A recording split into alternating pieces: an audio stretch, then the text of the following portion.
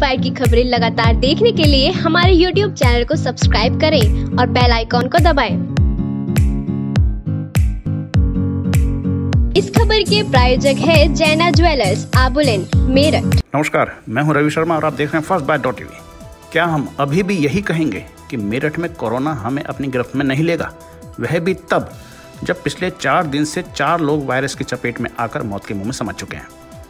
कुल नौ लोग कोरोना के कारण मारे जा चुके हैं, जबकि पिछले तीन दिन में बासठ नए मामले सामने आए हैं। बासठ सिर्फ़ इसलिए क्योंकि टेस्टिंग की संख्या अभी बेहद कम है। हालात बिगड़ने व बात गले तक आ जाने के बाद मरीज़ खुद ब खुद बाहर आ रहे हैं। अगर पूल टेस्टिंग अधिक हो तो यह संख्या बढ़ सकती है। आज सदर थाना क्षेत्र के रविंद्रपुरी निवासी, जिस शख्स की मौत हुई है, उसकी मौत पहले हुई और कोरोना पुष्टि बाद में।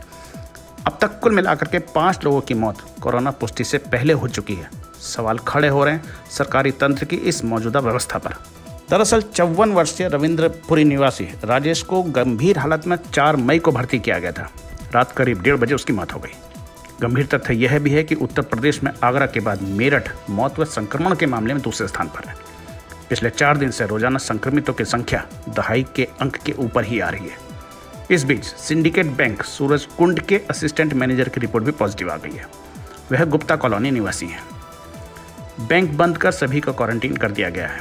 जिला प्रशासन द्वारा मरीज़ पाने के बाद जिन जिन इलाकों को हॉट स्पॉट घोषित कर, सील कर दिया गया है, वहाँ लोगों को घरों से निकलने की बिल्कुल इजाज़त नहीं है।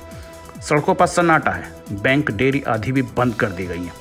फ़र्स्ट बाइट संवाददाता नितिन जोशी ने शारदा रोड पर ऐसा ही एक नज़ारा अपने कैमरे में कैद किया है। आइए देखते हैं।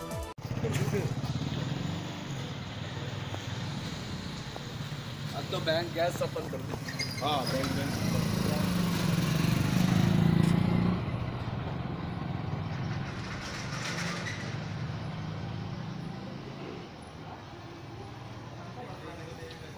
इस बीच उत्तर प्रदेश सरकार ने तेल की कीमतों में इजाफा करते हुए पेट्रोल दो रुपये और डीजल के रेट में एक रुपये की वृद्धि कर दी है। प्रदेश में पेट्रोल की कीमत तिहत्तर दशमलव नौ एक रुपये प्रति लीटर कर दी गई है जो पहले इकहत्तर दशमलव नौ एक रुपये थी। वहीं डीजल की कीमत तिरसठ दशमलव आठ छः रुपये प्रति लीटर कर दी गई है, जो पहले बासठ दशमलव आठ छः रुपये थी। इसी क्रम में यह लग रहा है कि सरकार ने भी यह मान लिया है कि चाहे रेट कुछ भी हो और कितना भी बढ़ा दिया जाए, गला तर करने वाले तो गला तर करके ही मानेंगे, चाहे किसी भी कीमत पर। लिहाजा सरकार ने देसी शराब में पाँच रुपये अंग्रेज़ी शराब में 180 ml पर दस रुपये 180 ml से 500 ml तक बीस रुपये और 500 ml से ऊपर तीस रुपये की वृद्धि कर दी है। बता दें कि सोमवार से ही यूपी में शराब की दुकानें खोली गई हैं और पिछले एक दिन में करीब 100 करोड़ रुपए की शराब बिकी है।